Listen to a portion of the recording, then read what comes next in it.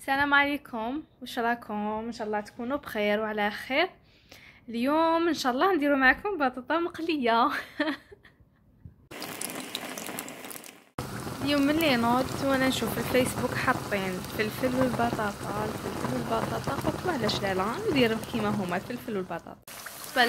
كي وجدتها؟ نقيتها قطعتها ودرتها تستقله حاجة جديدة في الفريت تاعنا اليوم هي نديرو الفلفل.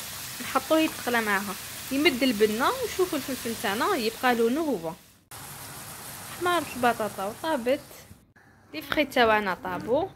نحوهم نحطوا لهم الملح باسكو قليتهم بلا ملح. نزيدو نحطوا الفلفل تاعنا أنا اللي كنت نحيته كي شفتوه طاب. الصفه تاعنا في طبق التقديم. إن شاء الله تجربوها وتعجبكم.